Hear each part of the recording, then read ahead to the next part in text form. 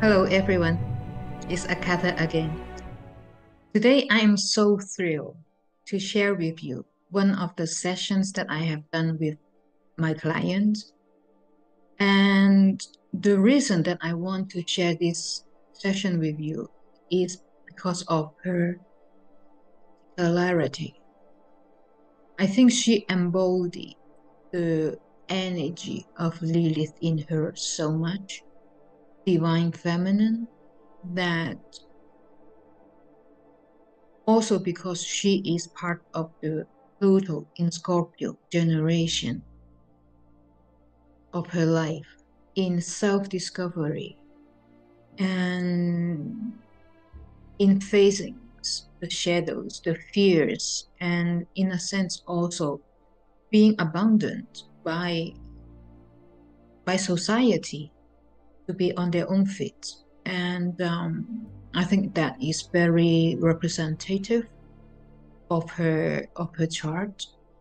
And in in this video, I have actually put the final part of our session at the beginning, where we were only doing um, a follow up, a chit chat after the, the whole session finished. And it was then that I have this download of his um, past life experience. And it was amazing for me to receive divine message and to share it with her that make some of the points that I was talking during the sessions that makes a whole lot more sense for both of us. And um, yeah, I hope you enjoy it. And I have to thank her so much for giving me permission to share her fantastic energy with you. If you would like to have a consultation with me, please visit my website, becominglotus.org. It is always an honor to be of service to help you a little bit un- um, understand, you didn't ask for the galactic astrology, but I have a look at it. Without really explaining whatever that we are already one hour and a half, I wanted to say that to you that your your your Lilith is conjunct the Shapley Attractor. That only this we have only discovered in recent years. So that make it so deep. So the consciousness from there we simply don't understand. The the, the depth of those beings that came from there. We simply cannot imagine. Okay, so if we link it with your Lilith at zero degree, that is a hell. In a, in a way, it seems secret, but because it seems secret, because we don't understand, this would go hand in hand with Alpha Centaurus. Alpha Centaurus, I relate to the Ascended Masters. And you have also your moon with Sirius A, the ancient Egypt that we know is related to the Orion, to Isis.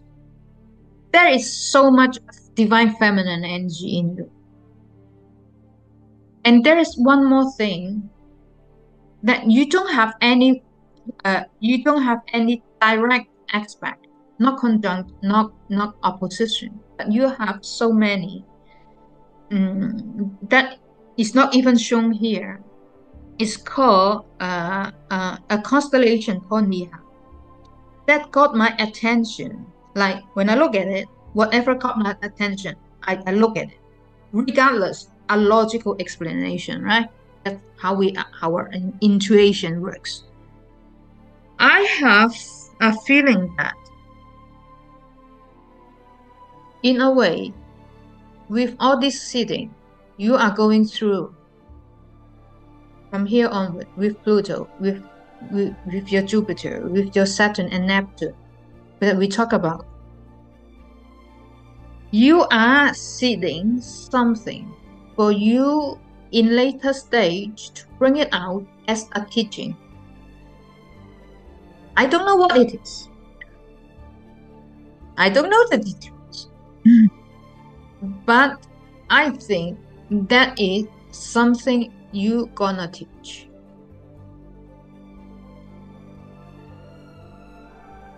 Allow. Allow. You have Psyche conjunct moon. Allow. Allow the divine to talk to you, with you. With that, I say thank you and I stop sharing.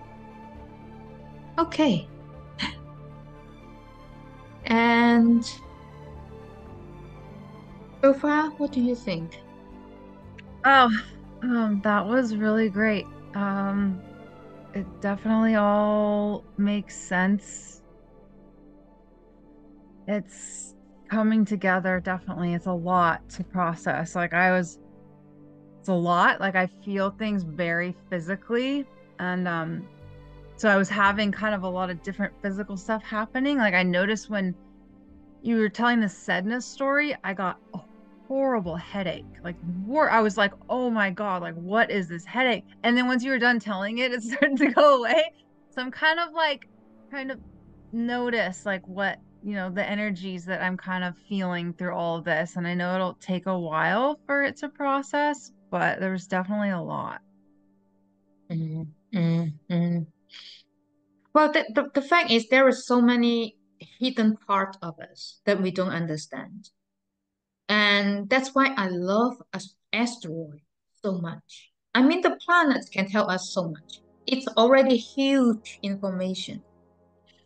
But for us to utilize those planetary energy, we need to know who we are. We need to feel deep. Without asteroid, without no, because everyone, almost every one of us is being described so negatives and with that, even more important for us to bring out that energy, to reclaim the power of those energies, just as Lilith. Everyone saying Lilith, condemning Lilith, and you think you are all this pristine?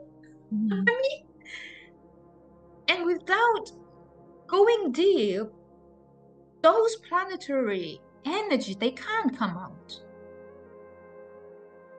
And Sedna, when you if you feel like that, maybe that was the part that was really missing for you to understand. Of the of, of the letting go. Of the of forgiveness. And it just came down to me. And I think when you were with that oh Jesus. Hang on, let, give me a second.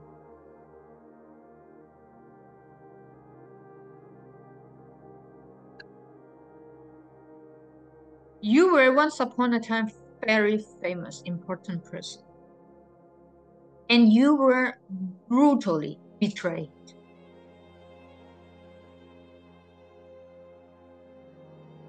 And you carry that injustice with you.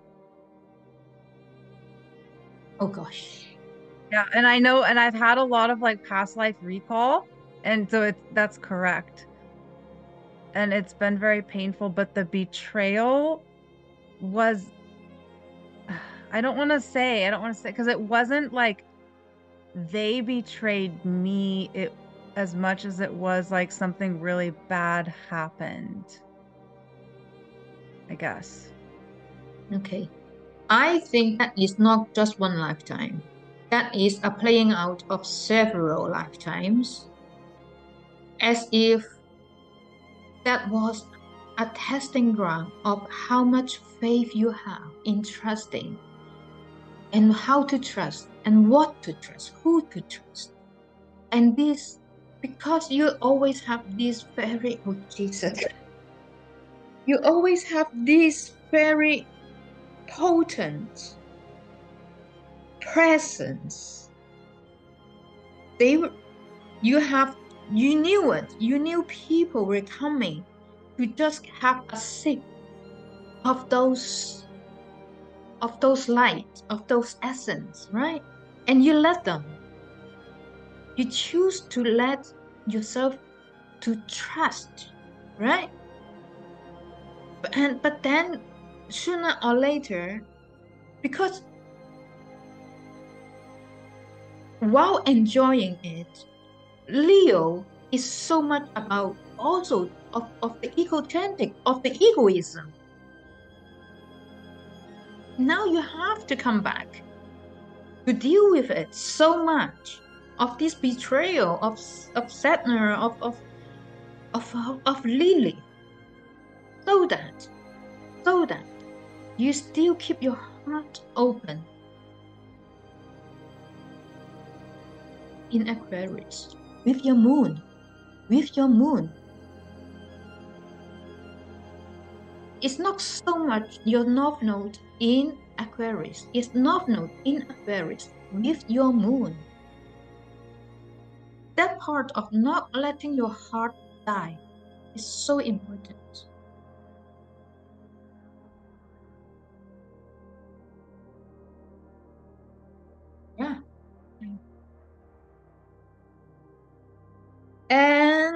And so and look, the hardest part is already gone.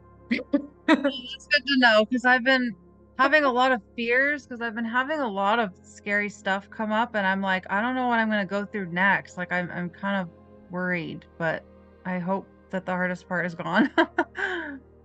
but yeah, that is that is you you you you are searching for something that is not ordinary. Just as everything that I said about you, that is not the the the the, the within the box. Thank you again and take good care. Be very kind, very gentle with yourself. yeah, I'm needing to learn how to do that. Oh, we learn, we learn. This is your natal chart. And to be honest, I find your chart very particular that and like you have studied your own natal chart, right? yeah. Okay, so you know that you have your sun in Scorpio, ascendant in Capricorn, and moon in Aquarius. That make apart from that, you have stellium together with your sun. You have stellium in your ascendant. That make you a person that is, in a way, what you show to the outside world is so mm, concrete. It's almost like li- leave no space for people to to guess, to imagine the kind of person that you are. It's like the moment they see you, they know you, who you are, and even they may not know it consciously, but they subconsciously already feel the, the, the kind of person that you are. And together with that, in in your uh, in your sun sign, eleventh house, but it is Scorpio. So, like everything about you, it, there is some like the pu- the push and pull of the polarity or the duality in it that you have your sun. That's how you show to the world.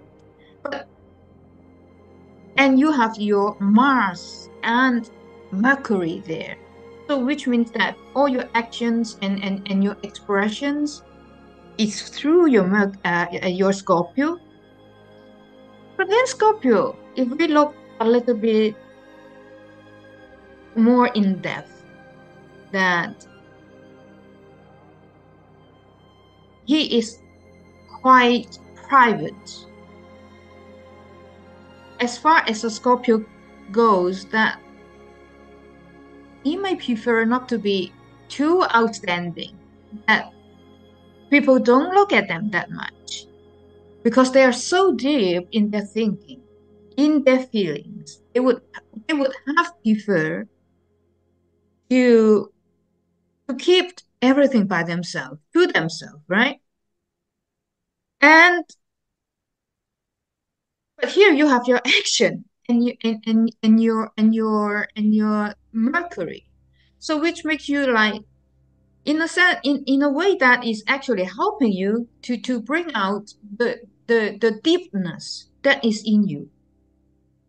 But before you can do that, we we follow how how these how these planets move. That you before you can actually have actions or to express, you have to deal with Lilith. It's almost impossible to bring it out. Mm. As a Scorpio, already hard, and you have the Lilith here. Okay, before I go on, I would like to ask your relationship with your parents. You, in a way that either you, do, you, you, you didn't feel the connection or you didn't have the support from from both sides. Yeah. That's true. it's a it's it's I feel like it's more of an inner thing. And the fact that you have so much in in in in in Scorpio is like it's like okay the thing is like even people would like to understand you it's hard for them to understand regardless right but i would say like you come in with this energy and later on you also oh, okay. I am jumping so much because that's okay. not here. Okay. Scorpio. Who are the ruling planets of Scorpio? That is Pluto as modern and Mars as the, uh, as the traditional ruler. So, if we take the modern ruler of Scorpio, uh, uh, uh, Scorpio as as Pluto, the Pluto Scorpio generation. Later on, I will just talk about your Scorpio Pluto generation, which is so particular. Mm. And, and they are both here. So make what it means is your Scorpio essence, energy is double emphasized by both Mars here and Pluto here. On top of that, you have Lilith. So Lilith as the first planet in your 11th house where your sun sits is zero degree, anaretic degree. So you have the Pluto generation already in Scorpio with your sun. With that, you put on also Lily. I can imagine as a little girl during teenage year. How frustrating that is. that was for you to ever communicate and relate. Mm-hmm. Regardless, you have the abilities, but that is the abilities that I believe, if we look at the natal chart, that as ascendant is when we are bo- when we were born, that is the first cycle when we go through this cycle and then when we come back usually co- coincide with the Saturn uh, cycle of 30 35 years and we the next time when we go around we become much better but as a little girl at early stage with so much concentration of energy in Scorpio gosh with Lilith zero degree it's like you you were born Lilith. Regardless your ascendant, all the all these all these others, like you were literally born Lilith. Mm-hmm. And that put a lot of emphasis of that sense of maybe also with your parents the sense of abandonment. I'm not saying they have abandoned you, but that sense of abandonment, of Mhm. not being understood, of being so different from the others, that in a way, you are such a beautiful person. Your eyes just like so brilliant. But then again, like that is this sense of unapproachable for the Mm. others, to you, with you. Because then Scorpio is a fixed sign. Everything about Scorpio is fixed. Don't move. Don't even try to move me, right? so, and, and so you have this fixed sign there with Scorpio and your ascendant. Here is interesting because between uh, Scorpio and Capricorn, they are actually sextiling. So in a way, it's a better flow of energy between how the people see you and how you really feel yourself. Okay, your with your ascendant. Now, your ascendant in Capricorn with ascendant and Venus literally conjunct on the same degree. A little second different differences, but it's zero one degree. So if you were born, as I said before, as Lilith, you live by Venus with Uranus here tie conjunct to your ascendant that you you were breaking rules right from the beginnings. Everything that people tell you, okay, now little Celeste, you do this. And you might look at them and say, sounds good idea, but you were somewhere else. Yeah. exactly. Ah.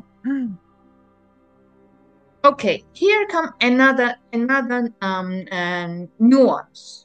Which I find that's what y- your chart is like this. Okay, it's like one way we can pinpoint who she is, and then there's another thing say not exactly. Here we have Saturn and Neptune. While Saturn could be this father figure that help you to understand much better of who you are and what you come here to do as, as a person with your son. It is in the first house. And in a way, you have, I think, you have always been feeling that you were on your own feet. You were the one that taught yourself, guides yourself where to go, what to do, and how. And it's supported, it's supported by the love that if you have difficulties in developing in you, you have in you, is installed in you so very much in your first house. The moon in Aquarius It's actually squaring 16 degree, squaring your sun and your Pluto.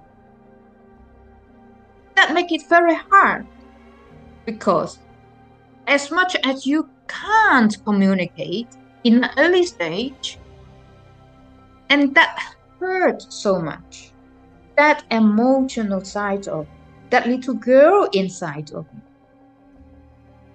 that your emotional was was having difficulty to express.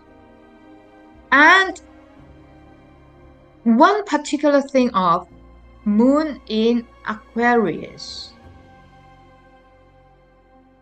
We know now that we are going into Aquarian age with Pluto in Aquarius. We are talking about mass consciousness, highest consciousness, that Aquarius want to love, to share it so much. But then again, even without looking at your at your sun sign in in in in, in Scorpio, Aquarius need so much space, that kind of solitude, to be within herself, to in tune with her emotion, so that she can come out again. With that, into your second house, you also have your north node, which is 21 degree. Let's say you came in with lifetimes of experience where you were highly individual. You had you had you had had experience that you you caught, you receive a lot of attention that you have no problem to express yourself and maybe in some of those lifetime you would have ex- be so self-centered, so self-eccentric that somehow you lose the sight of who you are. And so this lifetime you come back with the nuance of a Scorpio.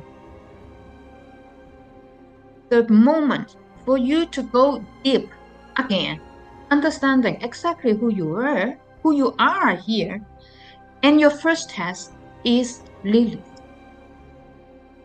So, with this kind of background that you have no problem in shining and you still have no problem in shining yourself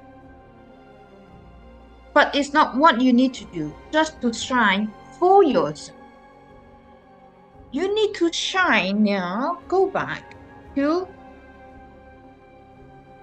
aquarius with your moon we are just entering this Pluto in Aquarius for the next 20 years.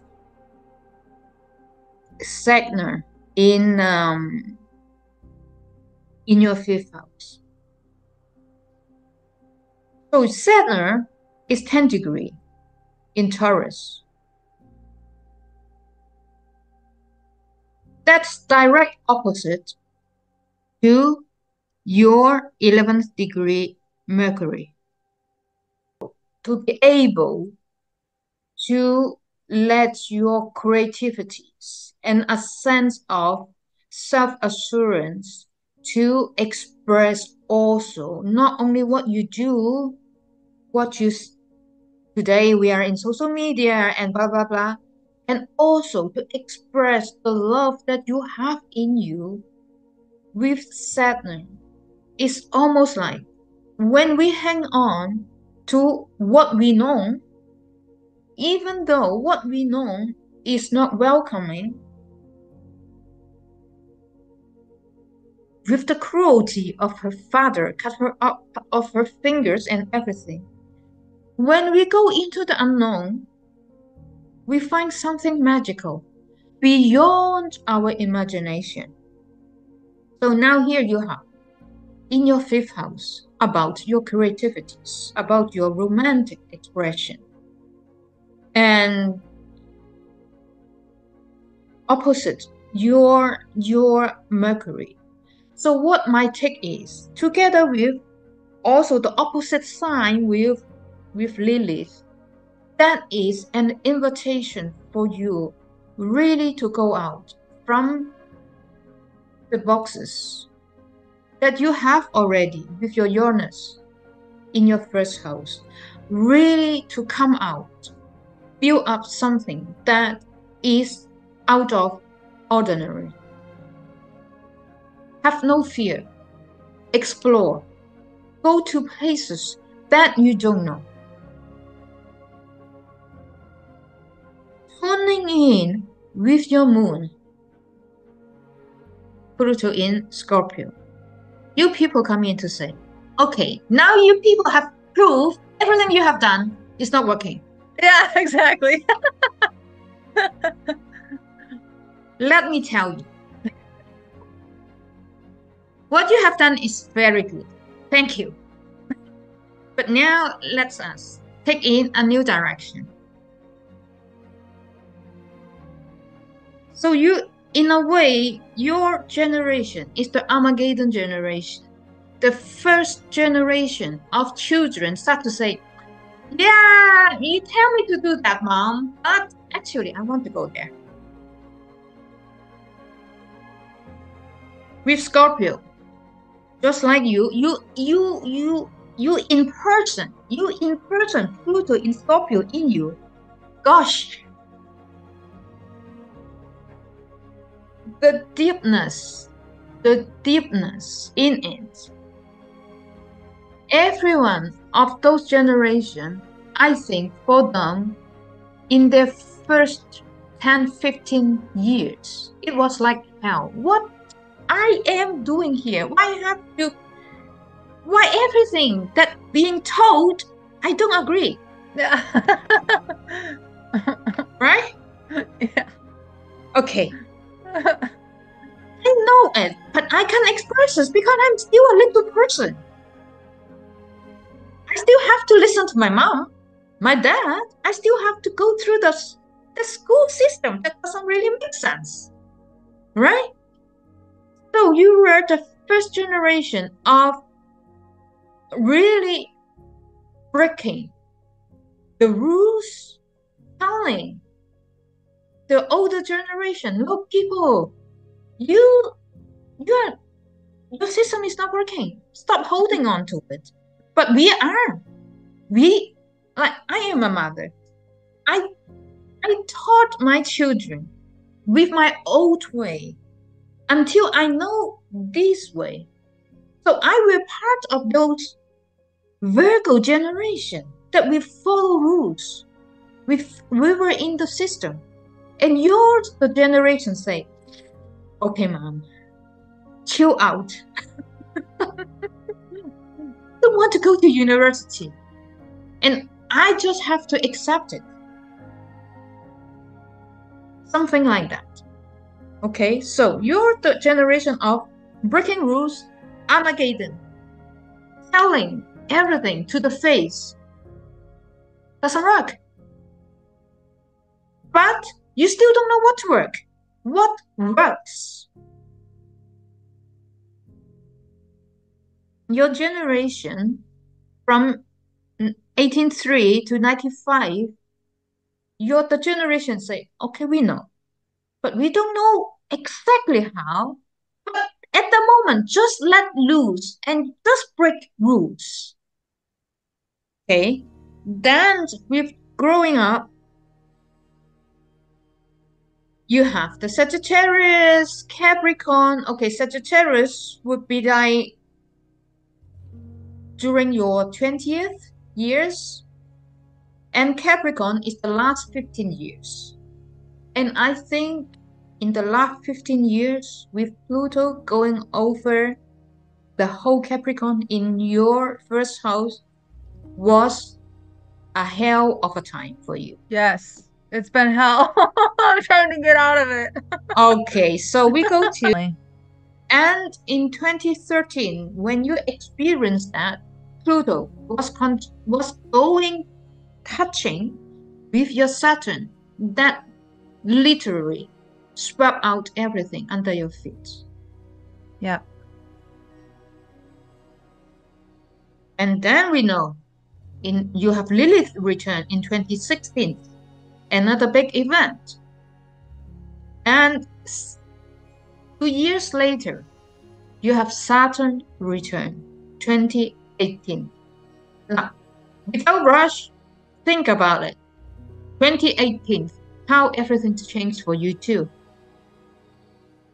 Too close, not really closing, but too close. I would say for you as a person, because of the Pluto is going into your your your your, your uh, Aquarius with your moon in Aquarius with everything that you have in Scorpio and in Capricorn,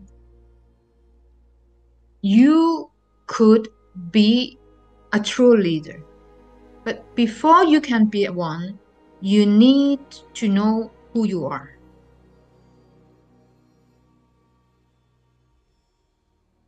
And that is a hell of a transformation you are going through. You have already done so much. So much. Ever since you were born, I write until today. With all this movement.